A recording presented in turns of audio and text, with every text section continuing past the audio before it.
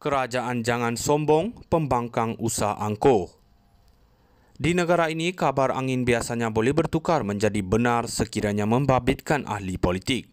Tidak jarang dalam insiden sebelum ini, politikus menafikan sesuatu desas-desus tetapi kemudian terbukti apa ditolak. Bahkan dilabel sebagai fitnah betul-betul berlaku.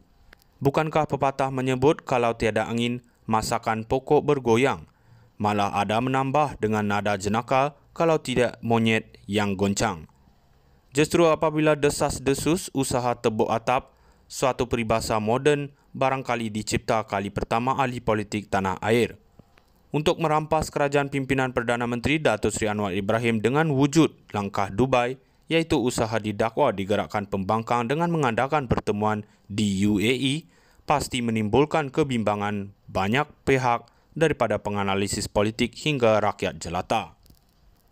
Kabar burung itu sudah bermain di media sosial sebelum didedahkan Timbalan Ketua Pengarah Komunikasi Komuniti Jabatan Komunikasi Komuniti JKOM, Dato' Ismail Yusof. Pemimpin Perikatan Nasional PN dikatakan terbabit, begitu juga tokoh politik veteran berpangkat TUN, manakala gerakan itu dikatakan ditaja menggunakan sumber asing. Bagaimanapun timbalan Presiden PAS Datuk Seri Tuan Ibrahim Tuan Man yang mengakui beberapa pemimpin pembangkang berada di Dubai menganggap ia hanya cerita rekaan sedangkan Ketua Armada Bersatu Wan Ahmad Faisal menganggapnya dakwaan tidak berasas. Namun politik Malaysia bukan saja sudah banyak kali menyaksikan sesuatu dakwaan dinafikan sekeras-kerasnya tetapi kemudian terbukti sebaliknya. Malah kita sudah menyaksikan langkah Sheraton menumbangkan kerajaan dipilih pada pilihan raya umum ke-14 dan satu lagi dikatakan cubaan langkah London, maka tuduhan sebegini boleh mencetuskan kekhawatiran rakyat bahkan mencetuskan persepsi negatif kepada pelabur yang diperlukan dalam pemulihan ekonomi negara.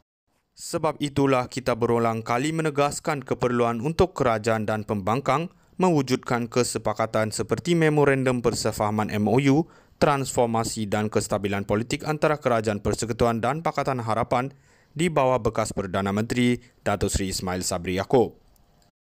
Kita meminta parti pemerintah tidak sombong manakala pihak pembangkang tidak angkuh untuk duduk di meja rundingan, malah jika perlu di bawah naungan Majlis Raja-Raja